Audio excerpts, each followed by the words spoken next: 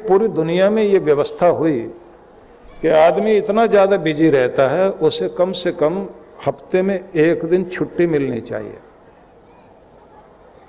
बाद में बात चली कि दो दिन छुट्टी हो। अब उस छुट्टी का उपयोग क्या करे आदमी? छुट्टी का उपयोग है जहाँ हम अपना पर्स खाली करते हैं, बैग खाली करते हैं, दोबारा से उसको जमाते हैं, अगले हफ़्ते की तैयारी करते हैं, उसी के साथ में कहा है कि अगले हफ़्ते के लिए दिमाग भी खाली करो। दिमाग में भरे हुए कचरे को साफ़ करो। अपने अंदर थोड़ी देर के लिए खालीपन लाओ।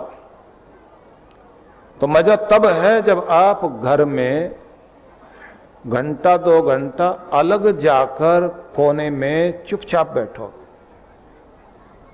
जब आपके पास आपका मोबाइल फ़ोन भी काम ना करे, ये व्हाट्सएप, ये फेसबुक, ये जो भी कुछ है आपके पास, क्योंकि और कोई बुक पढ़े ना पढ़े आदमी आजकल फेसबुक ज़रूर पढ़ता है।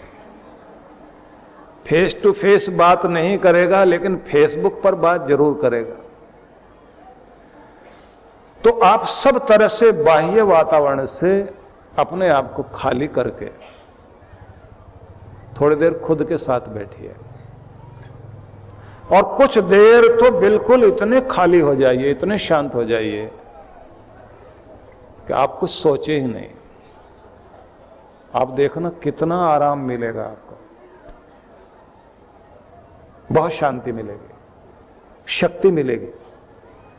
पूरे ब्रह्मांड में फैली हुई जो ऊर्जा है, उसका टेन परसेंट भाग हम अपनी तरफ़ जो खींचते हैं, वो नींद में मिलता है। नींद में आपका रूपांतरण होता है, आपको नया बनाया जाता है। आप पूरे थके हुए होते हैं ना, पूरे दिन के।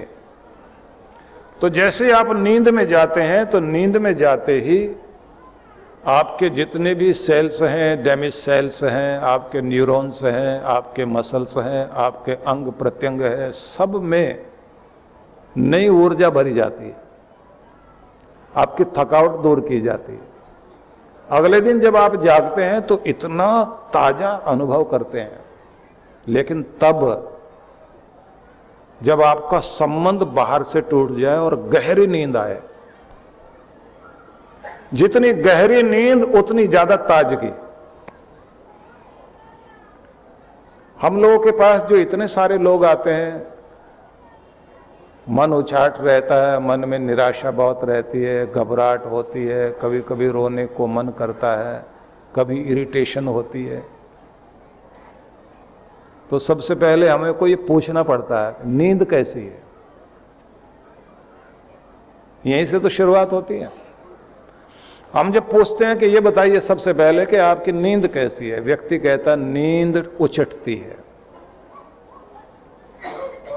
अब नींद में ही गड़बड़ है, मस्तिष्क में ही शांति नहीं आ पा रही है तो इसका मतलब है कि जो कॉस्मिक एनर्जी लगातार बरस रही है और जो यूनिवर्सल पावर यूनिवर्सल एनर्जी जो चारों तरफ़ फैली हुई है, उसे खींचने का जो मौका आपके अंदर नींद में मिलता है आपका जो रिसीवर ब्रह्मांड को अपनी तरफ़ खींचने के लिए ब्रह्मरंध्र में लगा हुआ है, आपका वहाँ से संपर्क टूटता है।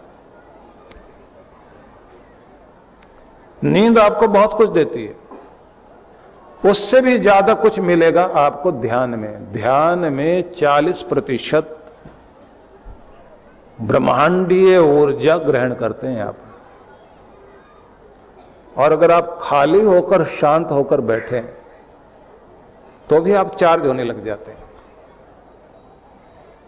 इसलिए एकांत में बैठे ज़रूर। जापान का एक ध्यान गुरु, एक प्रोफेसर को समझाता है। जब वो आकर ये पूछता है कि मैं बहुत पढ़ाई की, एक पूरा लाइब्रेरी बन गया हूँ मन में शांति नहीं है। मैं चाहता हूँ कि आप मुझ पर कृपा करें और मेरा ध्यान लगना शुरू हो जाए और मेरे अंदर भी वो आनंद की किरण उतरे जो आप में बहती है। तब उन्होंने एक कॉफ़ी का प्याला हाथ में ले रखा था। एक मग में उनके कुछ चाय रखी हुई थी। सामने कैटल। तो उस केतली की तरफ़ उन्होंने इशारा किया प्रोफेसर से, इसमें और भर दीजिए आप। वो डालता चला गया तो जब वो पूरा भर गया तो गुरु फिर कहते, और डालिए, डालते जाइए। जैसे वो डालते गए तो वो कप से बाहर गिरना शुरू हो गया। प्रोफेसर रुका, बोला, अब और डालूँगा तो ये सारा यहाँ बह जाएगा नीचे. अब गुरु मुस्कराते हैं। और मुस्कुराकर उसकी तरफ़ देखकर कहते हैं, प्रोफेसर, और इसमें नहीं डाला जा रहा है क्या? बोले, महाराज, ये पहले भरा हुआ है। ज़ोर से हंसने लगे, बोले, तू भी पहले ही इतना भरा हुआ है कि मैं उसमें कुछ डालना चाहता हूँ सारा बाहर ही गिर जाएगा, इसलिए पहले खाली होके आ, कि मैं कुछ भरूं। अब वो कहता, महाराज, मैं तो आपसे ध्यान सीखने आया हूँ। इसमें सत्य प्रवेश करे, मेरे अंदर मेरा आनंद प्रवेश करे तो आप कहा मुझे दूसरी बात समझा रहे हैं?